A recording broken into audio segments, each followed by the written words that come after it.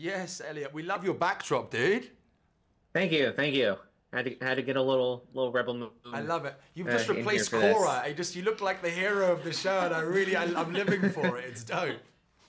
If if only that would be that would be awesome. so it's a pleasure to be chatting with you all today. And my first question is for everybody, and it's kind of a two part question. Uh, what interested you about the Rebel Moon films to get involved in them, and what was your favorite scene to shoot?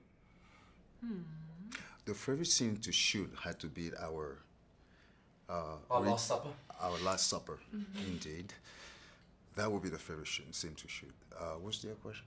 Uh, what was, it was what was your favorite scene to shoot? And I don't remember what was, uh, or what was what drew us? What what what, what drew us to? Yes. yes, what drew us to the to the to the project? Uh, to the project, I well, the nature of the story, I would say, speak of that in the sense that that really resonate with me, and given the fact of you know where I'm from, the continent of Africa, it's one that mimics really so much that this village, uh, you know, Veld, and um, and the makeup of that mother world trying to indoctrinate everyone and everybody. Uh, uh, yeah, that resonated.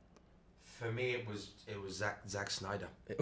I grew up loving that man, you know, and loving his, you know, he was mm. he, he brought stop motion into into into the world, you know, with with, with 300, and he's always so aesthetically adventurous, and and what he makes is so beautiful. And 300 is a you know a story against the few against the many, and I think that's how a lot of us have felt at some point, mm. alone in in battle with whether it's ourselves or our circumstances, and.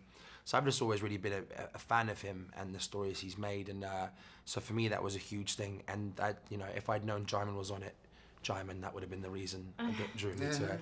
And if I'd known Ian was on it, I'd be like, oh, my new bestie. So yeah, that's also a drawing reason. So many drawing reasons now that I've done the project, but honestly, just the In idea of working with retrospect, Zack. Yeah, in retrospect, big- now that I, you know, now that I know these guys, now that I know they were on the project, it's it's everything. But Zack was just the idea of working with him was just an honor. Yeah, yeah. I feel like when I auditioned, actually, I only got you know a very so small little. size. Yeah, you we got very little because you know we yeah. because because because that's because we're from you know. So, so we didn't know anything about the story. All I knew was that I get to ride a bird, and then and that Zack's Zack's making it. So yeah, Zack's making it the opportunity to step inside the world he built. Ah, I mean, it's, yeah, and space. Yeah, Yeah. Space is alluring. I think to Well, any. I was extremely flattered to be asked to sing, you know, Yeah. and to sing a tribal, impa- you know, impacting song and uh, a tribal chant, and so that was a deal breaker in the beginning. I mean, sort of like, you know, it's like, Yeah.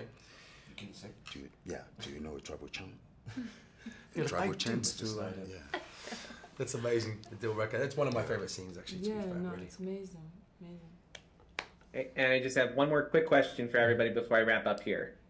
Favorite movie and series you've watched so far this year? Uh, favorite movie or series you've watched so far this year? you got to give it to us like that. Um, off the top of my head. Does it have to be current? I just know what's- no, I think it's just whatever no, it you doesn't watched have this to be. year. Yeah. Okay. Okay, I've actually only watched one thing, and it's Lord of the Rings. so Well, I mean, like go wrong with that. 15 years later. I love that. later. all the extended versions. Of Oh, it. it was good, like 13 good. hours in total. Was It that? wild. Yeah. yeah. Oh, amazing. okay. Amazing. Take that back. You're killing me. I don't. I. I can't. I, do you know what? I'll. I'll tell you. The last thing that I watched was probably big end of last year. But last that, that, that I watched that was that's fucking friggin' interesting. Um, Severance. Uh, Severance was really good. Have you watched Severance?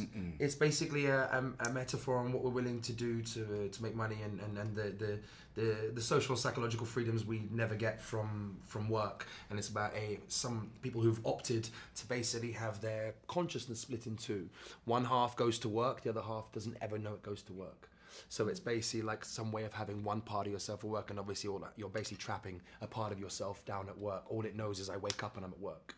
So it's a really cool commentary on what we've done with, you know, um, industrialize people's brains by making us work too much, I guess. But it's a really I'm I'm, I'm laymanizing and ruining it. But Severance, super cool show, super cool show. It's one of those concepts. I was like, ah, that that's a really wonderful and original way of having this conversation. Mm.